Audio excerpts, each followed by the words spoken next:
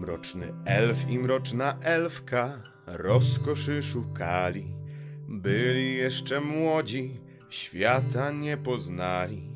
Po szlakach imperium razem się bujali, a gdy noc nastała, to po lasach spali.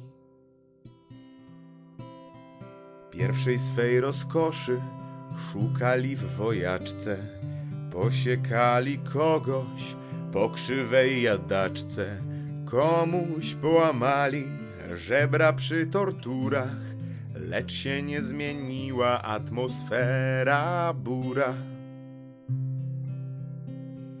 Drugiej swej rozkoszy chcieli szukać w miastach, wykupując wszystkie najpyszniejsze ciasta, ale smak słodkości nie dał im zabawy, więc musieli dodać zbyt ostrej przyprawy. Trzeciej swej rozkoszy w bólu poszukali. Było całkiem fajnie, chociaż głośno łkali.